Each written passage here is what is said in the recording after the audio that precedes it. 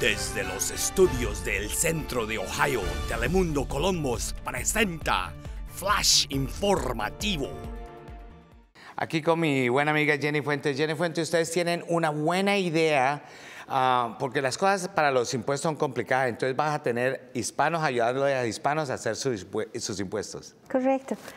Ah, la materia de los taxes es un poco complicada. Estamos tratando de facilitar eso dando clases y estamos tratando de reclutar a los latinos a unas clases que empiezan en octubre, la segunda semana de octubre hasta la segunda semana de, diciembre. Y tienen becas también, ¿cierto? Tenemos becas, correcto. Y las becas uno puede contactarte, ¿cómo se hace? Ellos solamente tienen que ir a nuestro website, hrblog.com, y de ahí nosotros podemos comunicarles o llamarlos a nuestro teléfono.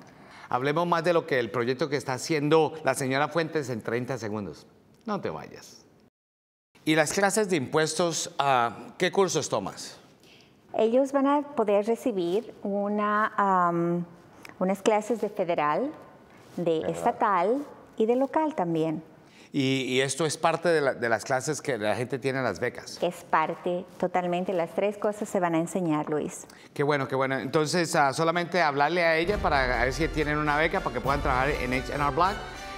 Para Flash Informativo, Luis Orozco. Hasta mañana.